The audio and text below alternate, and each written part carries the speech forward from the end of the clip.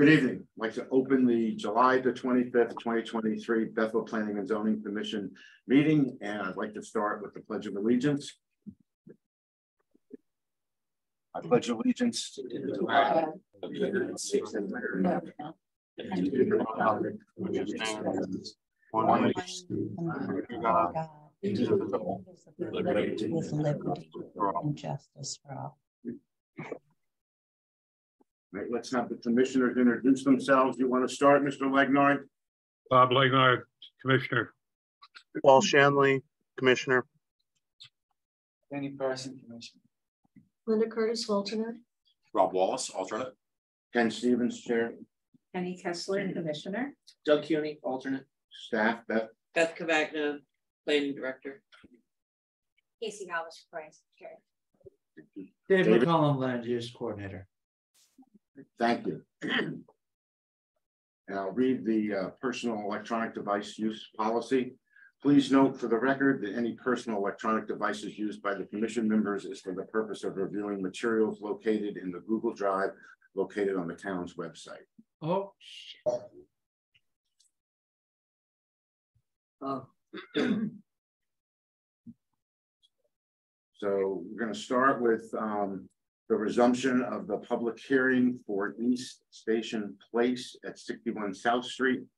Site plan special permit 14 units excavation and bill. Good evening. My name is Peter Olson. I'm an attorney with an office here in Bethel at two seventy-five Greenwood Avenue. My firm name is Land Use and Conservation Council. Here tonight on behalf of East Station Place LLC, which is a Verde Properties company represented in the front row by Kurt Purdy. Our engineer Doug DiVesta and our landscape architect Sabine, whose last name I can't remember, are on Zoom. Um, so we initially presented this project to you at your public hearing held on June twenty-seventh. We had, um, David, can you call up the um, architectural plans and scroll to page nine? I just want to have something in the background to remind everybody what we're talking about. That's obviously our pretty drawing of what we think this will look like when we're done. Uh, page nine, please, is just the front and rear elevations of the building. Okay, thank you. Uh, we had received a set of initial engineering comments prior to that public hearing. And Doug DiVesta and A2 Land Consulting worked to provide a response prior to that hearing. So the plans that we presented on June 27th were our revised plans. Um, and we've not made any changes since then. But the hearing was continued to this meeting for the purposes of receiving engineering comments on those revised plans. We received those comments today. We reviewed them and we think we can address them in the hearing tonight. And our hope is that since, since there's only four comments in the revised engineering comment or comments on the revised plan, our hope is that you'll close the hearing tonight and we can address those remaining concerns as conditions of approval. So I asked David to bring that up um, to refresh your recollection. What we've proposed is something that should look like three separate houses from South Street. Uh, and then underneath in the basement level, they'll all be connected in a single building so that we can share utilities, particularly water service, sewer service across the three buildings. So it'll look like three structures, but have a single basement. Um, one thing we did after the last public hearing, this went out last week, is we went out to the site and we constructed some two by four walls to give an indication of what the final retaining walls might look like. Let me have Kurt describe exactly what we did. Um, and for those of you who got a chance to see it, hopefully you can match up what he's saying to what you saw out there. Kurt. Yep. Uh, good evening, everybody. Um, so simply put, we, Name uh, address, please. Kurt Verdi, um, I live at seven Bradley Lane, San Diego. Thank you. Sorry.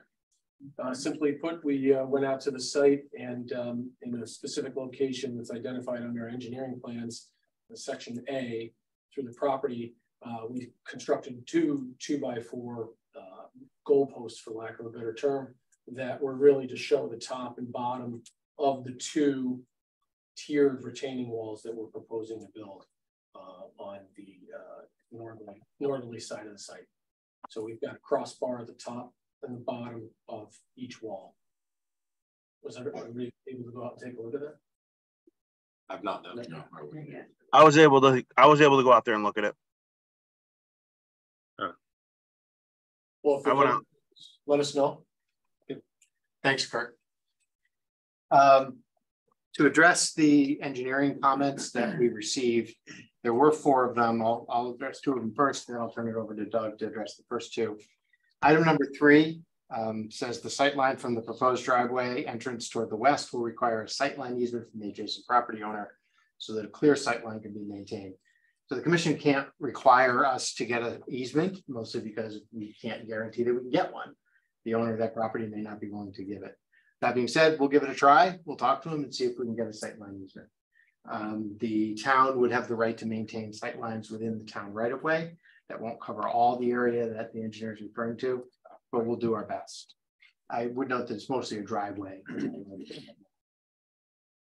Um, and number four, the reconstructed sidewalk along South Street should be a minimum of four feet wide in accordance with town and ADA requirements. We're hoping to keep the existing sidewalk in place if it's in good enough shape.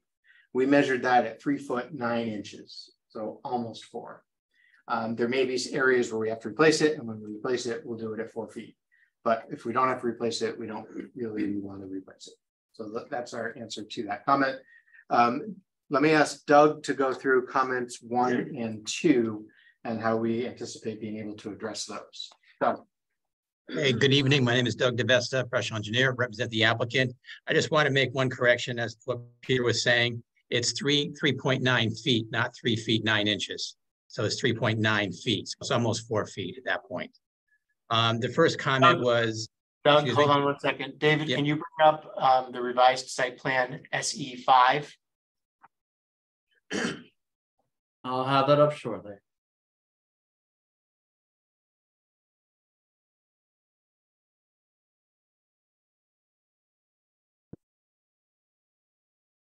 That coming on the screen okay? Yep. Yep, yes, Good. got it. you go So ahead, the Deb. con, so the comment from um Todd Ritchie was footing drain discharge pipes should not be connected. Uh, to the storm water drainage systems to prevent potential stormwater backing up in the footing drain. The footing drain should not, uh, should discharge to daylight. Um, what we're thinking is that right now we've got it going into the detention system, but what we're looking at is possibly taking it out to the east side of the property um, between the retaining wall that's in, that's east of the handicap space, run it down the, run it down the, the side, the side property line and drain, drain it out towards the, um, the lower retaining wall. Um, based on our soil testing out there, we were down twenty some odd feet. We hit no groundwater. There was no model indication. So I think the, there would be no, um, no, no evidence of any water coming out of that pipe. So based on ground, based on the soil testing. The second comment was, um, the proposed high overflow stormwater level spreader uh, shown directly adjacent to the twelve point five foot high retaining wall is not feasible. Stormwater should not be directed behind a retaining wall. Level spreader at the base of the lower wall, um, we recommend it. So what, what he's thinking is that we would bring it down towards the uh, lower retaining wall between the uh, property line and the lower wall. Um, what we're thinking instead is that we would provide um, an extra set of galleries out in the parking lot area, under the parking lot area. Um, right now, we've got the overflow um, in the David, can you point to the, or give me control and I'll, I'll point it out on the screen here?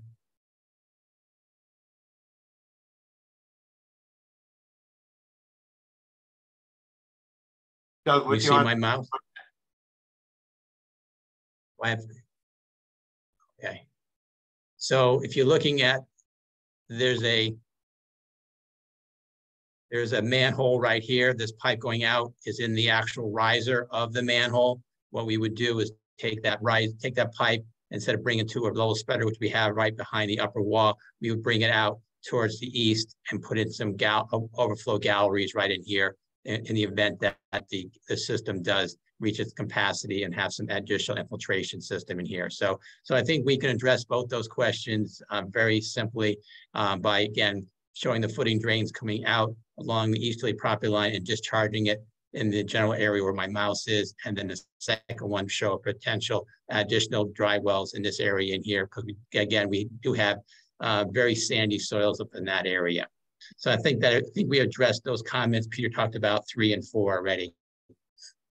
Thank you, Doug. You're welcome. David, can you call up the turning diagram for the fire marshal, specifically number three? We received two comments from Fire Marshal Tom Galliford.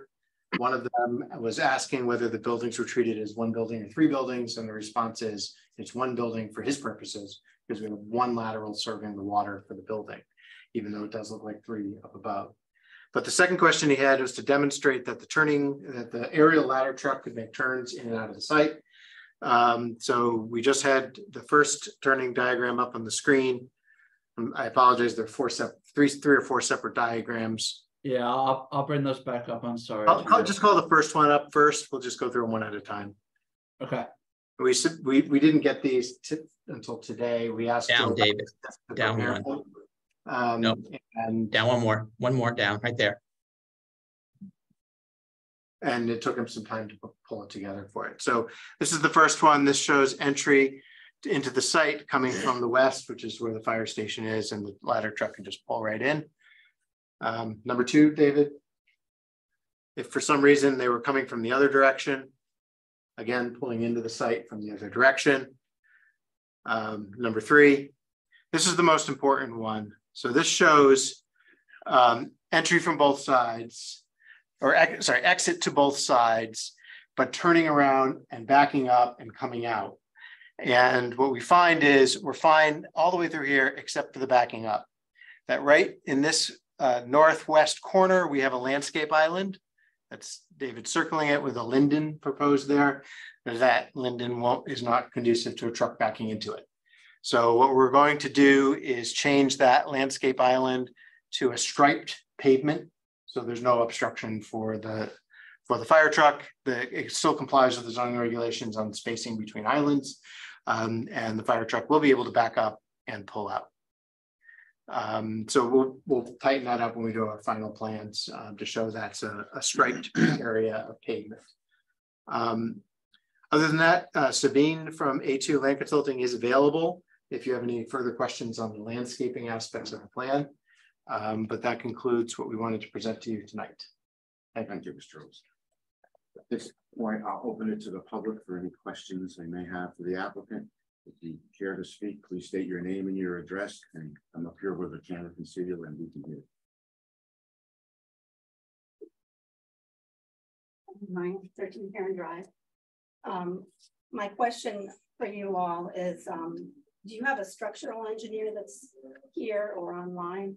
Um, I'm just a little concerned about the two walls and, you know, structurally how that works. Um, and then the other question was, I think the last meeting, they talked about changing the size of the dumpster, um, which would affect the parking area. Um, so tho- those are my two concerns, address the fire situation. So, Thank you. Thank you. Anyone else in the room? Anyone on Zoom that has a question from the public? I'm not seeing anyone with their hands raised at this time, Mr. Chairman. Thank you, David. Mr. Chairman, if I can um answer the question in regards to the structural engineer. Anytime you have site plans um and developments such of this nature, a structural engineer is required in order to get a building permit. It's also required through our department too. Um, at this stage, it's not required, you know, from the planning and zoning commission. Because they're a very specialized engineer. So once you approve it or whatever, then the architect and the structural engineer. The structural engineer will, will definitely be the one that's in charge of doing the walls. It's a very specialized field, Right, very special because that's a big wall or two big walls. Mhm. That's correct. I confirm what Beth says. It's handled at the building permit stage. Uh, Doug, can you just address the dumpster question? I can't remember whether we revised it or said we were going to revise it. We were going to, for the record, Doug DiVesta, we were going to um, leave the dumpster area as, as we proposed. Um, and if we needed additional uh, space in that area, we would have a smaller dumpster and, but they would be picked up, you know, once or twice a week, depending on the usage of that building.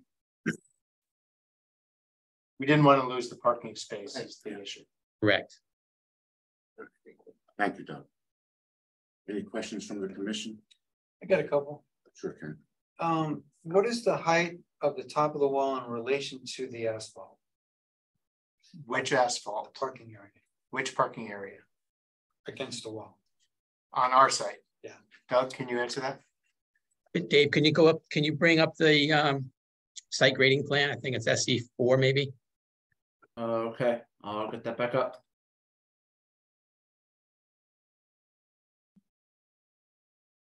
Basically, I want to know how much of the wall is sticking up above where the parking is.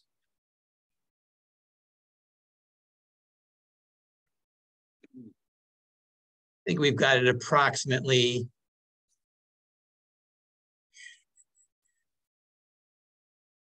About three feet above it in some areas, just again, it's for sa- for a safety reason, so vehicles will not, you know, obviously. We don't want them to go, there's gonna be a six inch curb around the parking lot. Then we've got a guide rail and then we have uh, bumpers there, so we really it's about three, about three feet above the. Um, actual pavement area. Doug, is there a fence on top of the wall? Thank you. Yes, there is. There's either gonna be a fence or a railing. If it's a fence, what kind of fence? Will probably be a chain link fence. Chain link? I- If, if we go with, if we go with, because I think even Todd mentioned that, we, we said we'd use a guide, we would use a uh, railing or a, uh, you know, a safety railing or a safety fence on top of the wall. So if it would, if it would be a fence, it would probably be a chain link fence, a black chain link fence. Black. Okay, thanks. Eddie, can, That's it. any but uh commission members on Zoom have any questions for the applicant?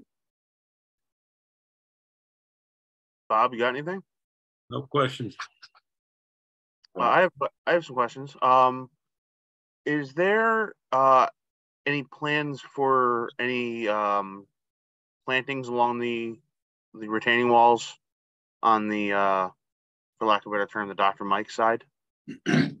Many, many plantings. Yes. That's what I Um, thought. I thought I remember that from the first, from the first, uh, Can you call up the landscaping Mm. plan and I'll just have Sabine quickly refresh? yeah, if you could, please.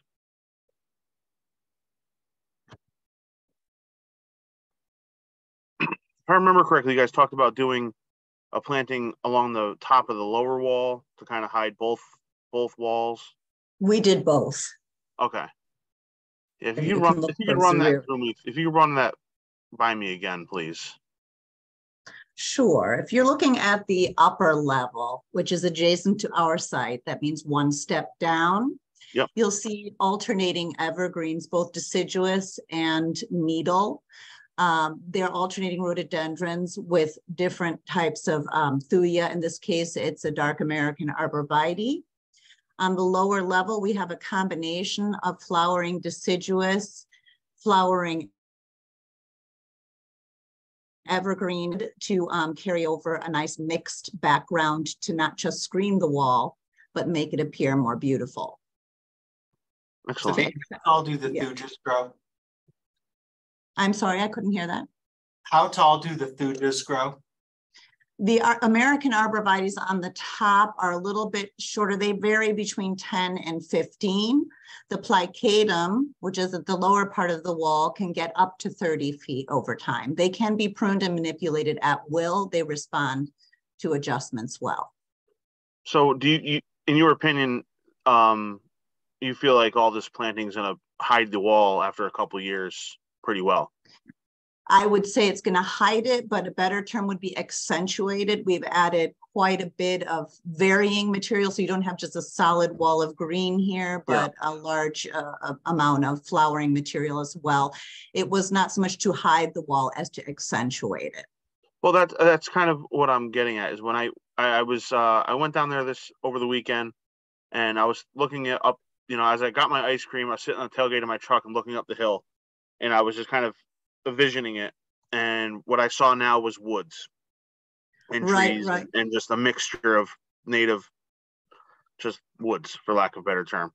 And if there's, if we, obviously it's gonna be developed, and if it's just turned into something that's more prettier Yes. woods, um, I think that's an advantage. Uh, I, I think, I think that could be a, a, a plus.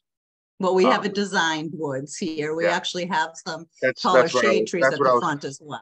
you've explained it you've explained it pretty well um my second question was i don't know if um if this has been explored or if it's even possible um but is it possible to put like a like a stairs off the back so that the residents here don't have to walk all the way around the block in case if they want to get just down to greenwood avenue and use some of the businesses in town or or get down to the municipal center and and really you know take advantage of down living downtown um, Paul, I can answer that for you. okay, when we started the acquisition process. So um, just to a little history, Verde Properties, East Station Place bought the property behind Dr. Mike's. That Yeah. had been divided off ten years ago Mhm. uh, by Robert Allison, who was Dr. Mike. Yep. And then in the last two years, the property behind the gift cottage and the property behind Dan O'Grady's office were purchased. I started those conversations for that acquisition by saying, we'd really like an easement to put a stairs from our project down. And the answer was no, absolutely not. So- So, you know, we pushed a little bit as part of the acquisition process, but Yeah. really on the Kravis acquisition from, from Gift Cottage. Yeah. They were not willing to do that. Yeah, I, Um, I, I know, I know you're going into private property, but again, I, I literally went down over the weekend and I got an ice cream cone who's sitting on the tailgate of my truck. Nice. That was one of the things I was popping through my head. I was like, man, if I'm living there, it'd be nice to just be able to, I know it's gonna be, you know, a bunch of steps, but to be able to just come down the steps and, and to just, you know, do my business or grab an ice cream cone or go to dinner and, and not have to walk around the block. It just, just a thought. So it, it seems like you guys already went there, but the, uh, We tried, the adjoining properties were not a fan. exactly Uh, right. Those, those were my couple questions. Uh, that covered everything. Thanks. Thank you, Paul. Thank you. Anything else from anybody on Zoom? Commission? Mr. Chairman. I'm seeing um a member of the public that has their hand raised. Okay, oh, Paula. Go ahead, Paula, you're on mute. Hi, uh, Paula Antonini, nineteen Jacobs Lane. Sorry, my screen cut out during the public comment time. Thank you for allowing. Um, I have three issues. One is, uh, same concern I had at past meetings. Um, that, uh, does this structure of three buildings considered one, uh, have special engineering that's needed to be built on such a slanted property? I would think special iron beams, whatever it is, I'm not an engineer, but um, it seems like something specific would be needed to hold all of that weight. The same goes for the tiered parking lot. Uh, another concern is the driveway. What is the slant of the driveway in ice and snow? Seems like it would be heading for the retaining wall at the uh, tiered parking lot. Third, um, the uh, parking in the garage. I'm wondering what that radius is to have a, a turn for a car, because I understand either one or both of the garages are for the handicapped apartment that's on the lower level. I might have that wrong, but I think that's what I understand. Um, and um, I just thought of a fourth one is the soil was said to be uh, that you were not going to add soil, so the ground was going to be very stable. But now recently I saw some text that said you were going to be adding soil, so I'm wondering what that's going to do to the stability. I'd also like to know why, uh, maybe I missed it, but nothing was shown as far as a side view or a view from Greenwood Avenue to show exactly how these tiers are going to look, how high up they are, but I'm particularly wanting to see the slant from the side to show how the building is going to be held up, et cetera. But what that exactly looks like, I don't think we've been shown that yet. Thank you. Um, okay, first, there's no special engineering required to build the building. There's just regular engineering. Uh, Doug DiVesta, our civil engineer, has presented these plans. He's designed them. And they've been reviewed by the town's engineer. Uh, James didn't review these, right? No. So the town's consulting engineer, Todd Ritchie, um, and there's no comments that would question the stability of the site uh, and its ability to hold the buildings. David, can you call up the architectural plans? Um, page nine, which is what we showed at the beginning of this hearing.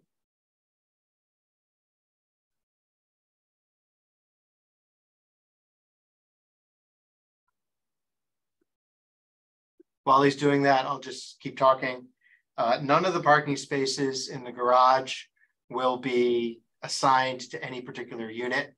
Um, in any particular lease, the handicap accessible unit could lease those spaces. It's uh, sort of an extra uh, for whatever units want the garages, uh, but they're not assigned to to these specific specific uh, units. So uh, what what this page nine is showing on the bottom is the front elevation and the top elevation is the rear.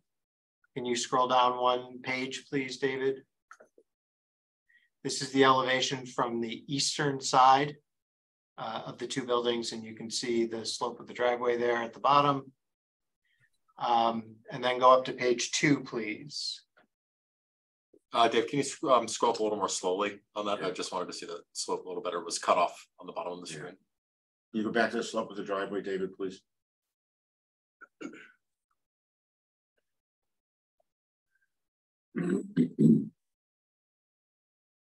One more page.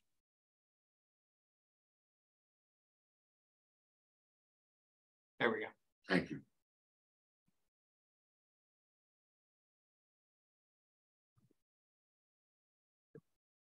And then page two, please, David.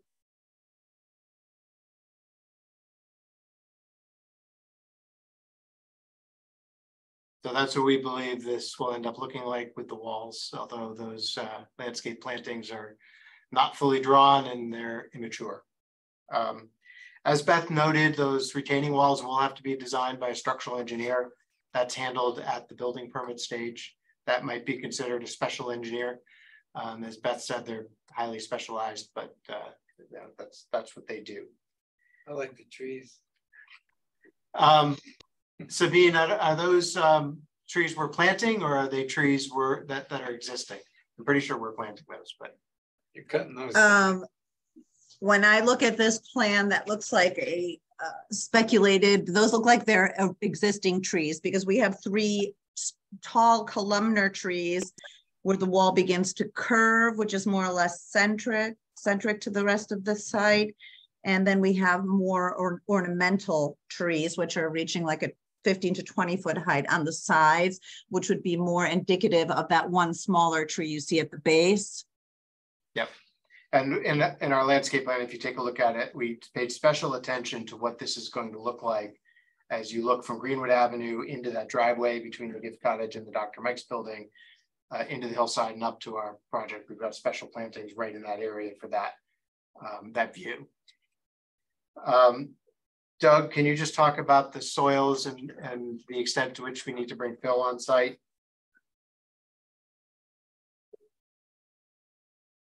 Did we lose Doug? I was gonna say, I think we might have lost Doug. No, he's There muted. you go. Yeah, there you go. Uh, do you want me, you want me to show the cross sections, Peter? That's the best way of doing it? Yep. Um, I think it's SE seven and eight, maybe. And while David's bringing those up, do you recall off the top of your head what the slope of the driveway is coming in? I believe it's around five percent, which is standard. Okay. It's not very steep.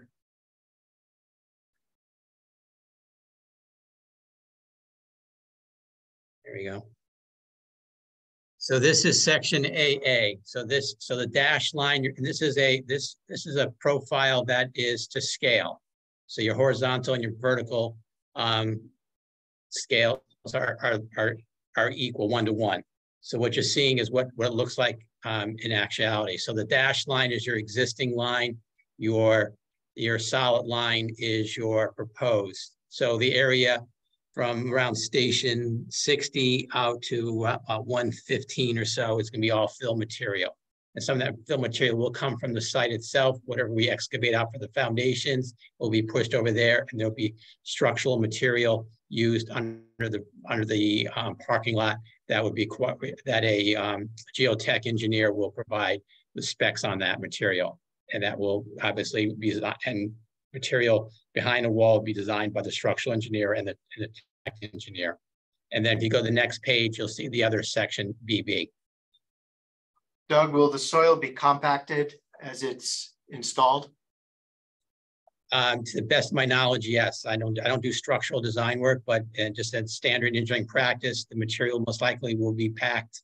Uh, will be put in lifts, meaning we'll put like twelve inches of material down, compacted, test it, make sure it meets a certain um, porosity and compaction, and then another layer would go on and go and so forth. So there'll be a, a uh, geotech engineer on site as the material comes in and being compacted uh, per the specifications of the um, structural engineer and the geotechnical engineer.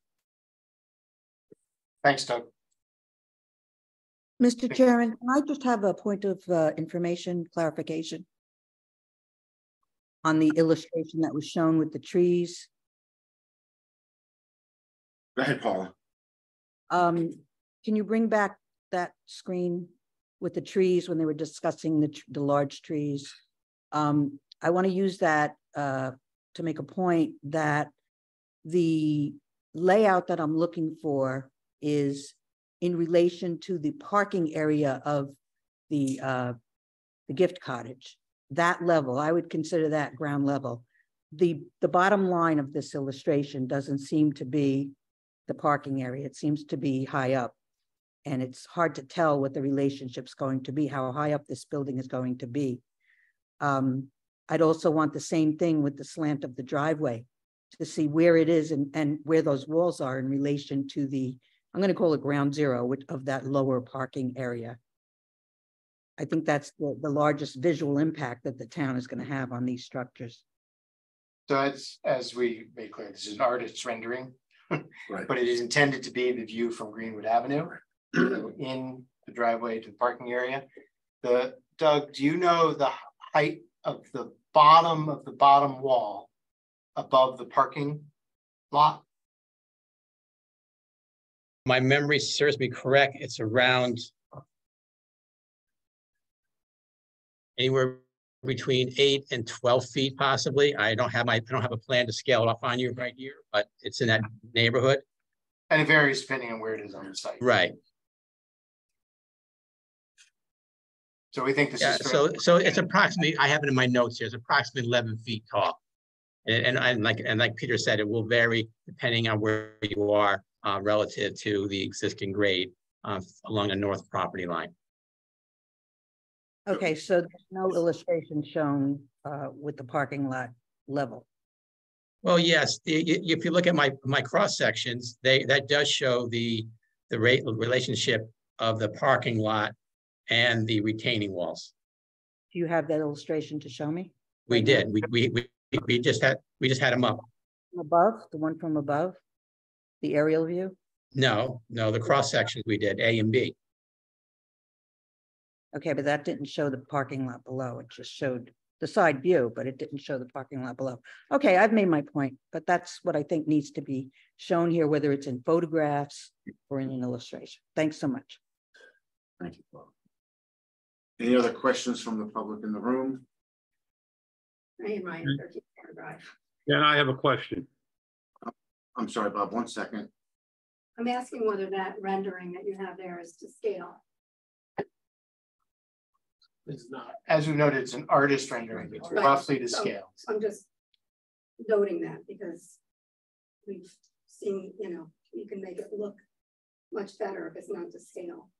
Just gives a, It's an illustration. right, but in a. And there's architecturals attached to Right, that right, illustration. It's a but- cover of Right, the architectural. I know, but it's, Okay. but I'm, well, I'm making the point that it's not drawn to scale. No, it is not. No, it's not. I'm It's just close to point. drawing to It's a scale. picture. Right, well. but you can It's do a based on the civil engineering plans. So it's not Right, but made up. Right, but it's not exactly the scale. So it's a twenty-seven foot wall with a six or eight foot fence and a forty foot building. Right. Okay. Okay, Bob, you had a question? No question. Uh, This might be for Doug. Um, Technically, what they're doing here is creating a plateau with the two retaining walls to level out somewhat the building site where the buildings will go and the parking lot. Is that true? Yes, it is, Bob. Okay, thanks, Doug. Any other questions from the commission members? Yeah, um, I do. Um. I was confused last time when you were talking about the parking, the, the, the garage parking, the under building. Could you explain that again? Because I wasn't clear. You were talking about. Could you explain it again? Sure. David, can you call up the basement plan, please? We have four garage bays, garage doors, Okay, visually from the outside. On the inside, each of those serves two head-in parking spaces. okay, so, One, two, tandem parking spaces. okay, spaces, so if front you, and if you back. could just like walk, walk me through it. So if you decide as part of your unit, you want to rent the garages, Mhm. right? That's part of your rent, you'll pay a little bit extra. But this is a garage door. And when you pull in, there's two spaces, one in front of the other. Okay, You can put one car here and one car here in each space. Or you can put one car here and use this for storage. We don't think that Rent should, The whole thing. you have to rent the whole thing. We don't think the storage part should really occur, but there should be room for some storage there. We're counting these as parking spaces, so, you know, we don't want piles of stuff there. We want them to be parking spaces. Okay. And so there's two spaces. Now, So- the question of everybody has is, well, what happens if I'm in this car and there's one behind me? Well, you call your That's a husband, you say, domestic move your car. I gotta go to work. that's a domestic. Same thing that happens in a driveway. Yeah, exactly. Mm-hmm. Oh, Okay, thank you. I, Yep. I was thinking that each of those bays were, each was individual and people were gonna be like jockeying No, for space and that made, no. And there's a divider between the two, so these two are separate. okay, all right, thank you. The- The two spaces will go to one unit. Okay, you also mentioned, so one of the units, the lower one, is ADA, In building C, right? yeah, the Okay, lower in the back is uh, entry from the ground and will be ADA okay, compliant. what is parking like for that? There's a handicap space on the surface for that. Right in front of it, right? Yeah, right in front of it. Um, that person could rent the garage space if they want. Um, I think you can get from the garage to that unit inside without going up a, a floor, but I don't know for sure. Yeah, Kurt says you can. Um, so So that's you an can get too. straight into it, you don't have to be, Well, it's not straight into it, but as you can see, it would be kind of around. no, but you don't have to like be climbing up. No stairs, Yeah.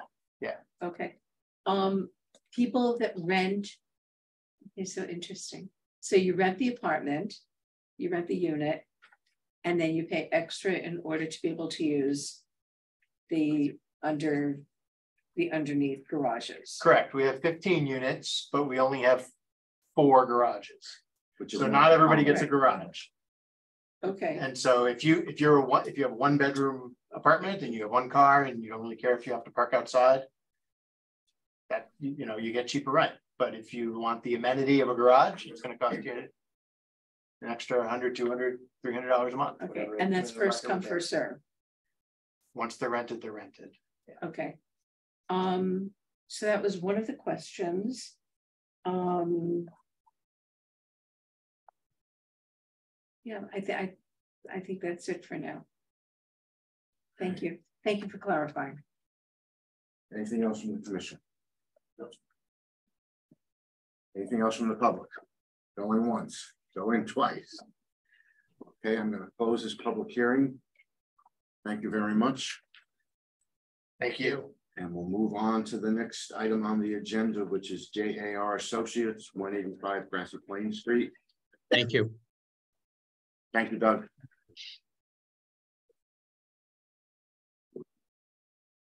Thank you, everybody. Thank you. Thank you. Okay, good night. Welcome, good night. Olson, are you representing the applicant here? as well? I am. I I get to get my spiel again. It's a busy man. Uh, before you start with this application, I'm going to recuse myself Got from it. the, from the jar application. Very good. Have a seat, Mr. Rizzo. Good evening. My name is Peter Olson. I'm an attorney with an office here in Bethel at two seventy-five Greenwood Avenue. My firm name is Land Use and Conservation Council. I'm here tonight on behalf of J A R Associates, which is the owner of the property at one eighty-five Grassy Plain Street.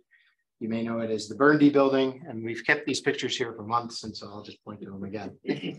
JAR is represented uh, here tonight by Tony Rizzo, sitting in the front row, and our civil engineer, Michelle, Michelle McCauley of Artel Engineering.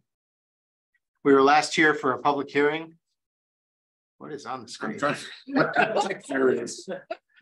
Can you turn off Paul's um video? Oh, okay. We were last here for a public hearing on June thirteenth. We received an initial set of comments from the former town engineer, James DeMayo.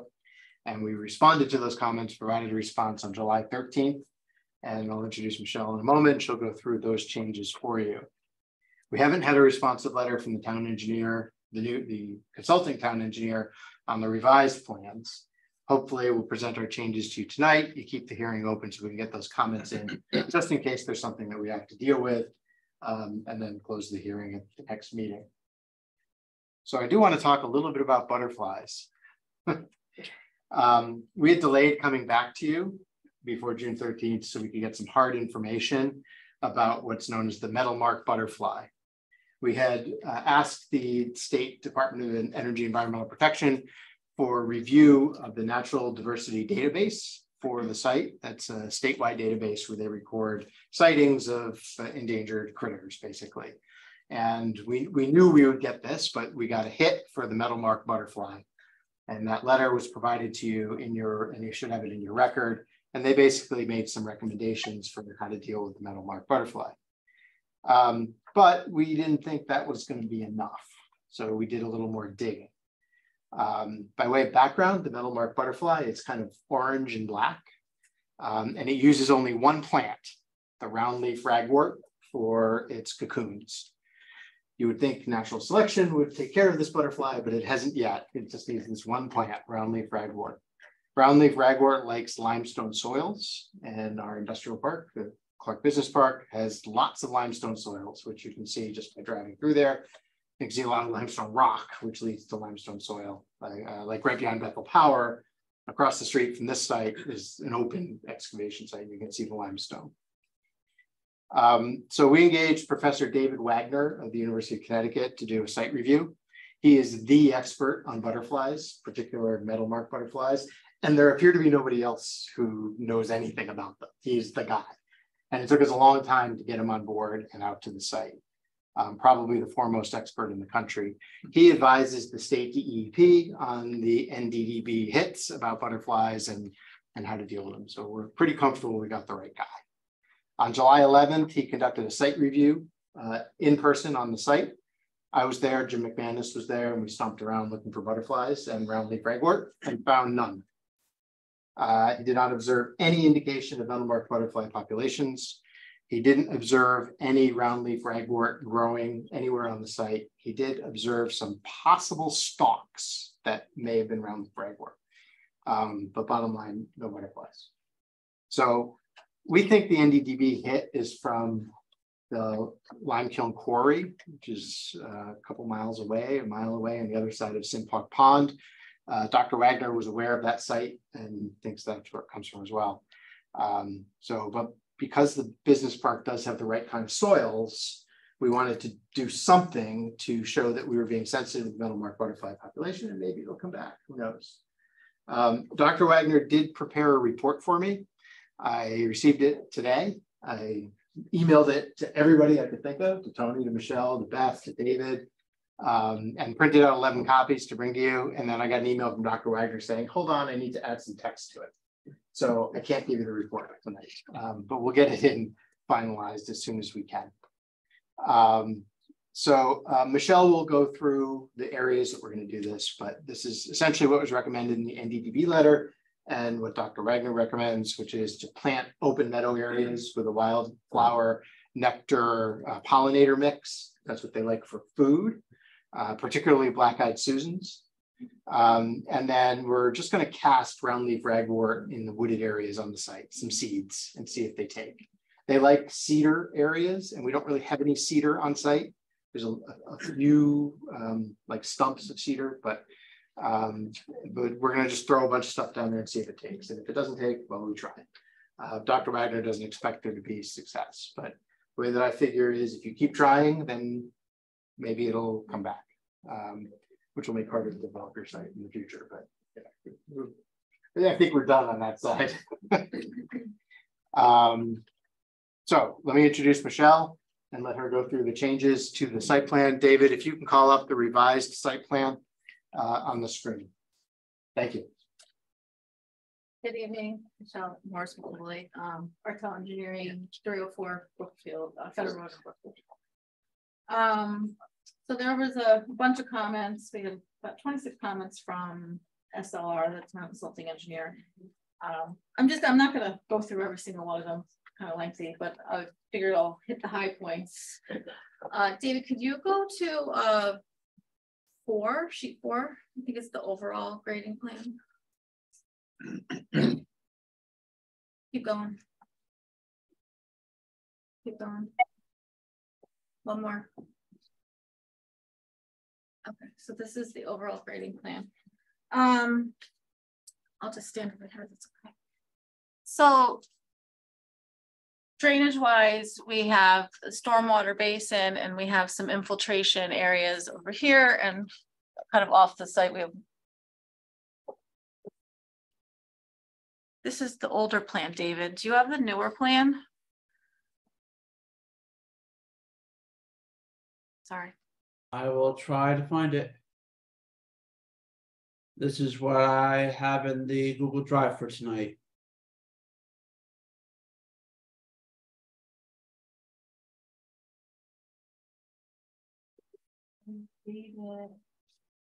I had emailed them to you while you were on vacation. July, thir David. July 13th is the email. Yeah, the plans are dated July seventh, three. Seventh three. Oh, okay. You got them seven three? Um, yeah, they're um they're not in the Google Drive for tonight, but I can pull them up. Um, Probably in there somewhere. though. I have full, I have drawings too, if that'll be easier too, for them to use. Yeah, and I'll and I'll pull them up on the screen as well so they can be seen. So they can follow along with you.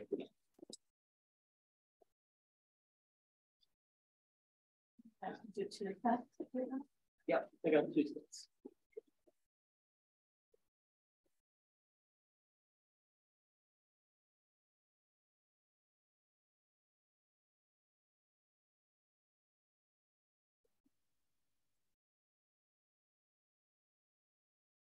effects. Yep, I got two sets. Before?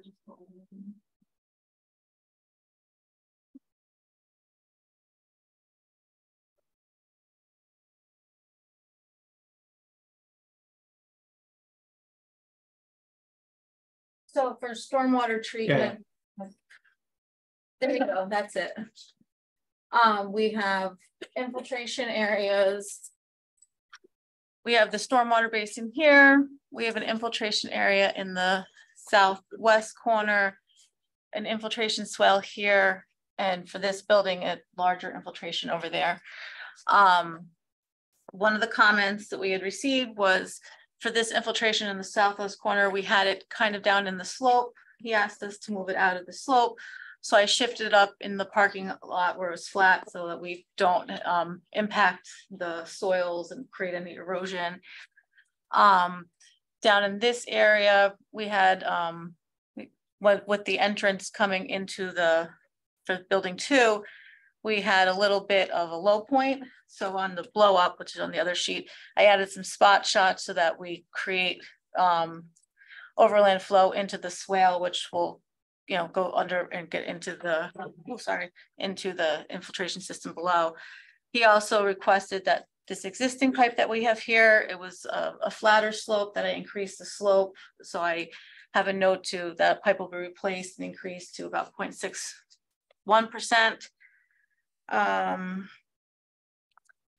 we had for building three, I had an infiltration system up here. I removed that infiltration system.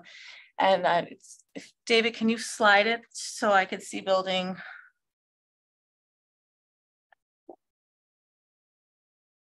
I gathered all the stormwater and brought it into this lower corner so that we don't have any impact on the slope coming down below. Um,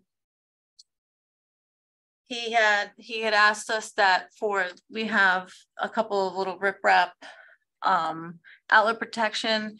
I sized these based on the stormwater flows coming out of the stormwater basin and the pipes discharging to the basin. Um, so these are all appropriately sized.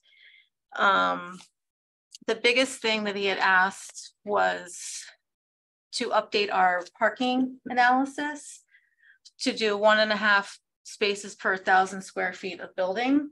So by doing that calculation, it increased the required parking to 278 parking spaces. So I provided an additional four spaces here, another four here, and then we increased the parking spaces down here. So now we have for the whole complex here are 280 parking spaces. Um, his other comment was for building three, since it's kind of independent and it doesn't really connect to the parking lot up here, to make sure we have enough parking spaces per the one and a half per 1,000, which would require 23 parking spaces. So we adjusted the layout here so that we could provide 23 parking spaces for that building. So it's pretty self-contained and independent of all the parking up, up, above. Um, he also asked that we provide sight lines for this building to show, to make sure that, you know, you could see the cars coming down. We we showed a 200 foot um, sight distance, which, and we provide a little grading to cut back the, the hillside a little bit. 200 is a little more than it's necessary since the speed limit is 25 and they'll be just decelerating coming down the hill for the light. Um, so we think we have more than adequate sight distance. Um, David, could you go to 5A? Please.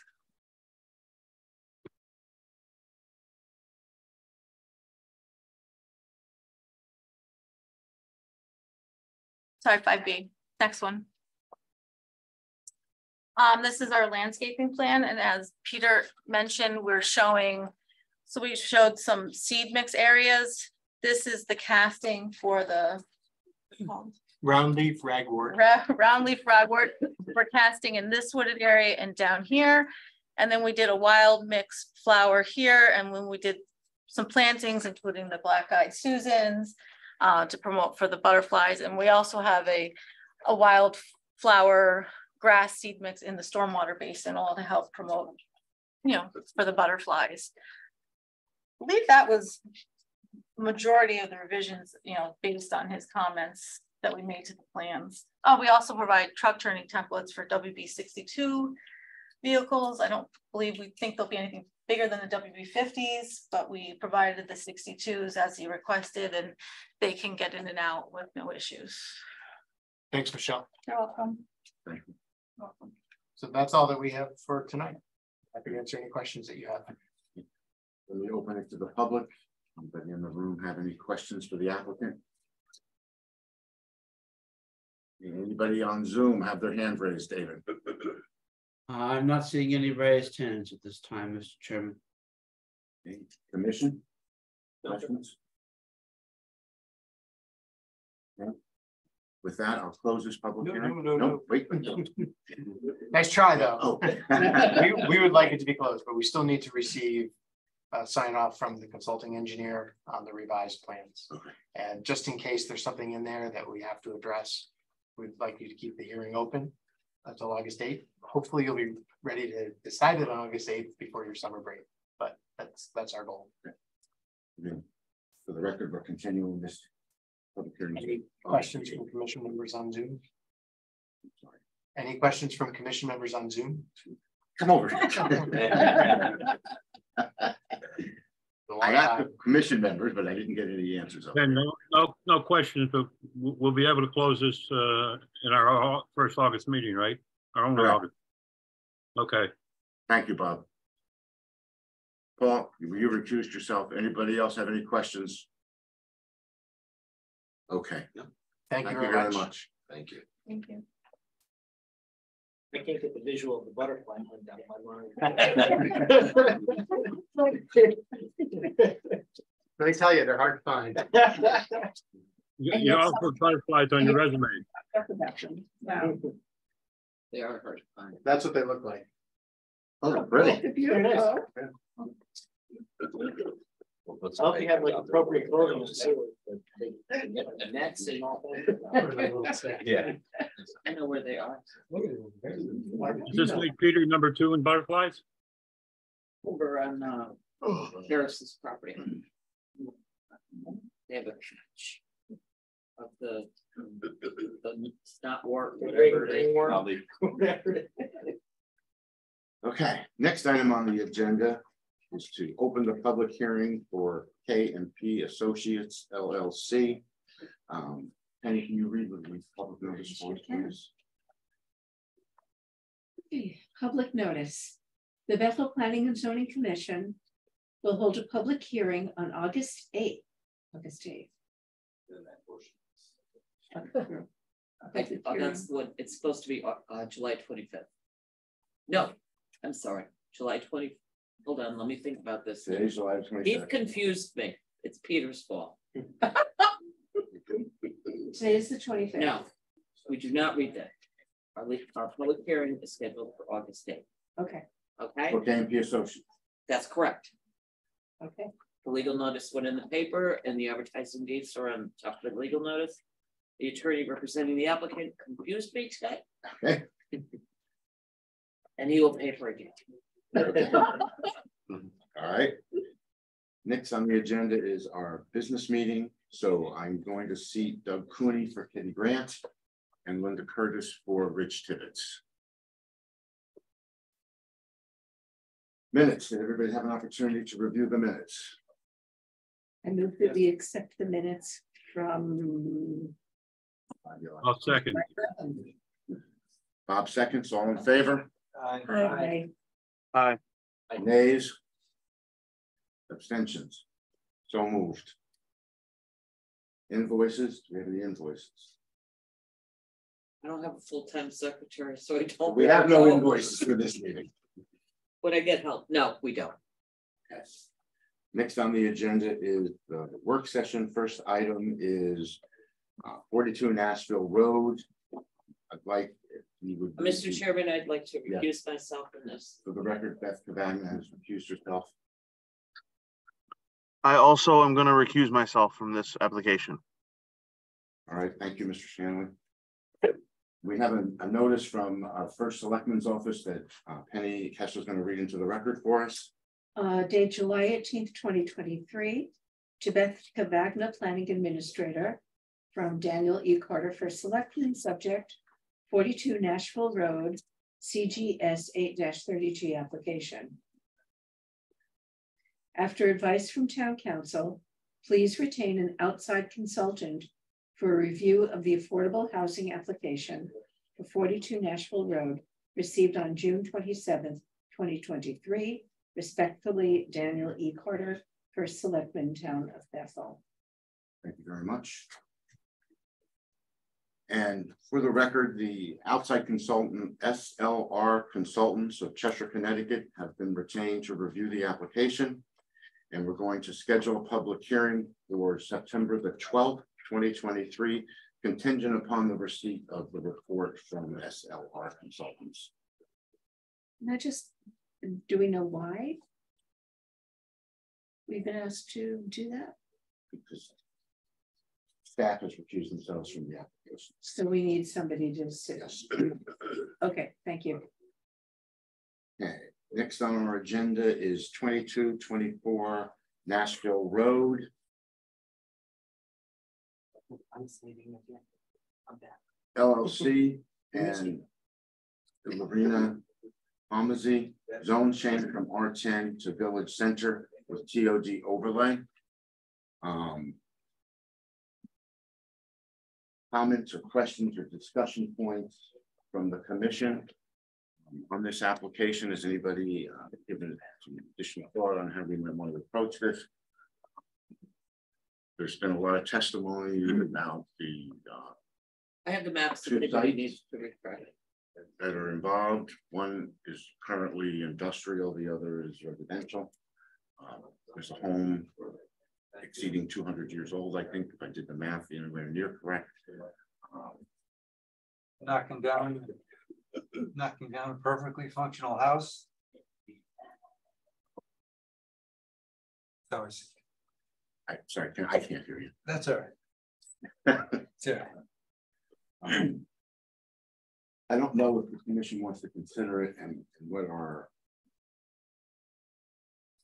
guidelines, so I would look to staff to help with this. um, Considering that half of the property is already commercial use, is there any thought or discussion on potentially approving the zone change for that and retaining the current um, zone for the house that's sitting there?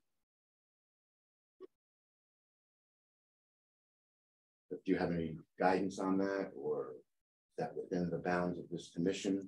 Well, I mean, basically what you're doing is you're, you're looking at um an application that is requesting a zone change. So when you request a zone change, what my first recommendation is that you refer back to your plan of conservation and development. Um, you also, there also is a request here to apply the TOD overlay zone to it too. So I think that those are two very good guiding documents that um, would help you determine if this is an appropriate change of use. Um, keeping in mind the um, adjacent neighborhood or the adjacent properties. Um, that's where I would start. The other question I have for staff is. Are we still within our timeline? if We don't make a decision on this tonight? Yes. So You have until the time. Okay. What I would suggest to the commission then is that um, we each take a look at the documents that reference reference and be in a position to have a further discussion at our next meeting. And make a decision on the application. We have any um, comments from those commission members on Zoom? I have a comment. I would like to see, you know, the uh, construction yard go back to residential, but not at the expense of a, a two hundred year old house. So I would like to see, keep the two hundred year old house and possibly build residential on the other thing. But that's not what they applied for, so somehow we gotta convince them that if, if they wanna build anything there, they're gonna have to build on the construction site. I agree with Bob. So I I have a question to piggyback on that. Um, do we have the authority to break the two sites into individual things? That's number one. They are individual sites, right? They're two individual lo- lots. They're two individual, so we do have They have the the, same owner, but they're two individual. lots. okay, so we have the ability to say. Yes for this, no for that. You do, but the request is for both. No, I understand. No, I, I, I, Okay. I, no, I understand that. I was just wondering. If you, if you were looking at the garage, industrial, commercial use.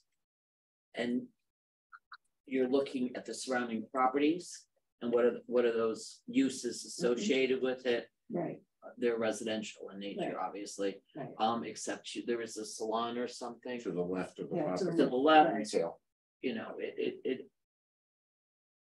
Yes. Okay, But one thing I just want to mention to you too, you always, you have to remember that the town of Bethel doesn't have um outside of the historic houses that are noted on the National Registry, we don't have a dist discharge, a protection No. for demolition permits. Correct. Okay. That's understood. I, I have, Penny, That- are you all set? One second. Hang on a second, Paul. That was actually going to be my next question, but I think you answered it, which is if if the owner owns that house at what, twenty-four, we can't tell him, them, what to do with that house. It's, it's theirs. They can, If they wanted to apply for a demo permit tomorrow, they could do, they could apply for a demo permit. and we have no there, there's no, no, you can't, kind of thing. No, not in relation My to the, understanding, unless the house is on the National Historic Registry, Right. right, it's totally up to the owner of the property. to Correct. decide What they want to do with it, Right. correct. as long as it's within ordinances and guidelines. Right, no, understood, right, that was, that was my question. Well, correct me if I'm wrong. If we, if, if we deny this, this change, we would also be denying the TOD overlay for use in that area. And that was one of my big points when we were writing the TOD was that I didn't want to see them tearing old houses down, whether they're on the National Registry or not, in order to build more units in the downtown area. I like to see the downtown area, you know, built up a little bit, but we don't want to lose some of the old houses we have either. Well, if you remember during the TOD process, Bob, um, and if you look at, uh, especially along Greenwood Avenue and, uh, Grand Street, the principal planning issue thing that we did was we said, let's keep our old homes and allow them to do, uh, the cottages or like behind, um, two twenty Greenwood Avenue. Yeah, that was the, that was the intent, yes. that was the intent, and the intent has worked in most of the instances, I would say. Along Greenwood. When you think about the improvements that have been made along Greenwood Avenue, and it's really due to the TOD. You wanna move this to the next meeting? Ken, I'm sorry. are you moving this to the next meeting? Yeah. Okay. I- I know, no, wait, I know Peter, Peter mentioned last meeting something about trying to save the old house. But he didn't think it was possible because the foundation wasn't strong enough to support what they want to put on the, into the old house. And, and, that becomes a problem. Uh, There's ways of solving that. So I, I just want to offer a thought that's been going through my head about this. I, I don't necessarily just look at it in the immediate.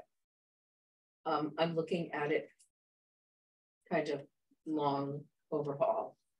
That the way a property owner maintains their property tells a story about the way they're going to maintain or create or whatever property in the future. And that really, and that concerns me about um the maintenance, not of the, not of the commercial, not of the industrial part, it's industrial. But the way that the owner has, what the owner has done to the house at twenty-four. And that's a real concern to me. Um, I don't know if that affects whatever we decision we make. Um. But, but that's in the back of my head, as it has been for other projects that we've looked at. Um. You know, past performance is sometimes a guarantee of what will happen in the future. So. Um, I like the idea of looking at the documents. Beth, would you be able to zone us in on what we should be looking at? Yes. Because that's a lot of material to thumb through to go and find something. Um.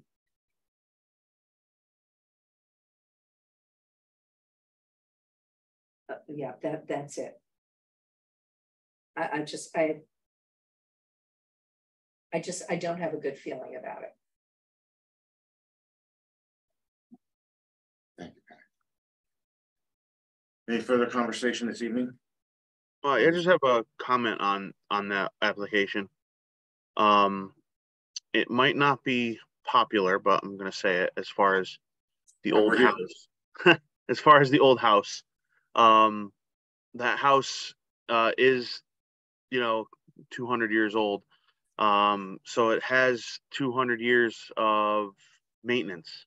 It might not have two hundred years of good maintenance. And whether this uh applicant uh, purchased his house, I'm not sure exactly when he purchased it, or him or her uh purchased this house. Um, but it might not be feasible to save the house, and I think that's what Peter was getting at uh a meeting or ago, uh time ago. Um, and I understand that. Uh, I do.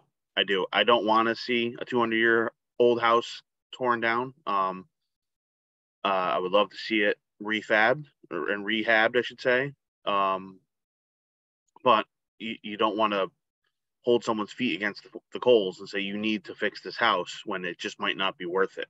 But that being said, I don't think the answer is tear it down and build a 14 unit, I think it's 14 units or 21 units they were applying for.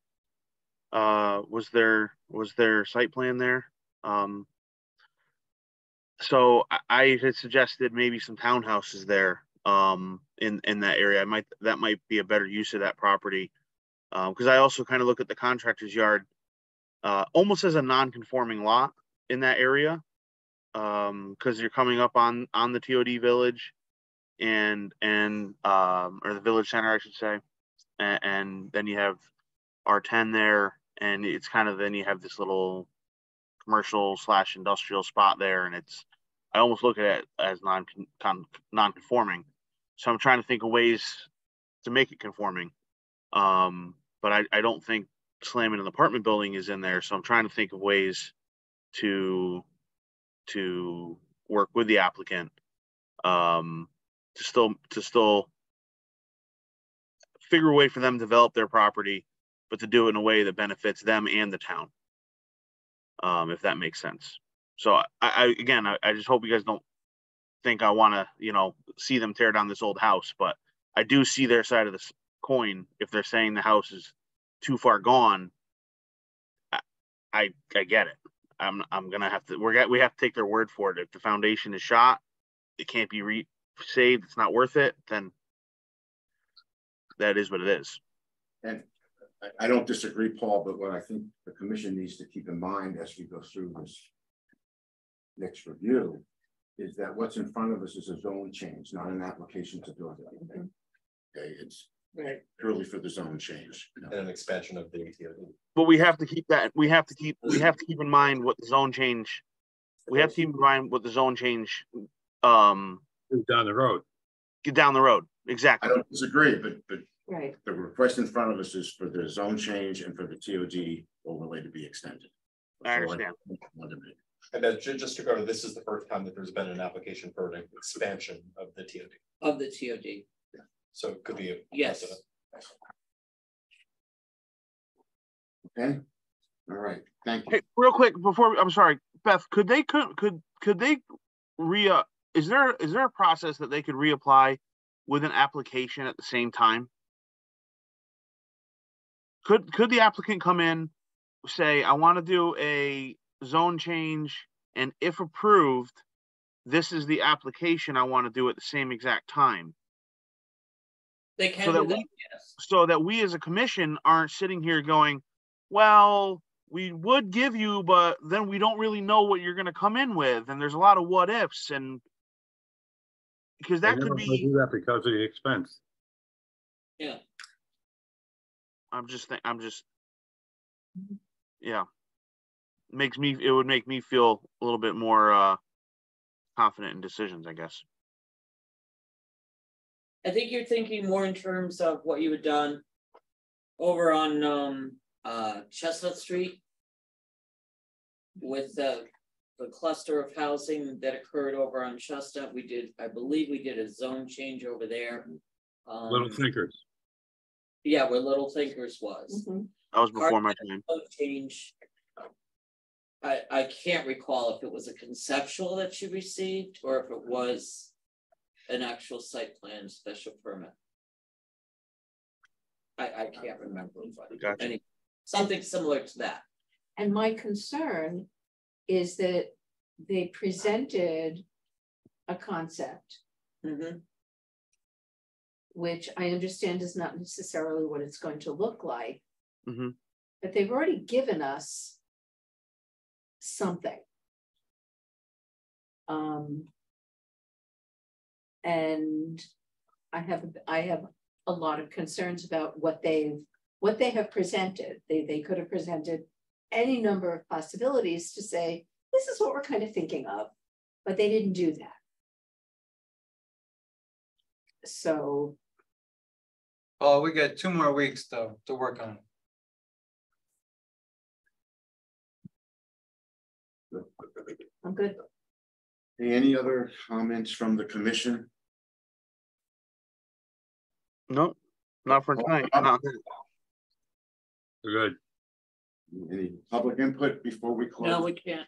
It's all, it's already closed. No. The, Oh, the actual. okay, so meeting. you're gonna table, Yeah, I'm, we're tabling twenty-two twenty-four Nashville Road LLC to our next meeting. okay, thank you.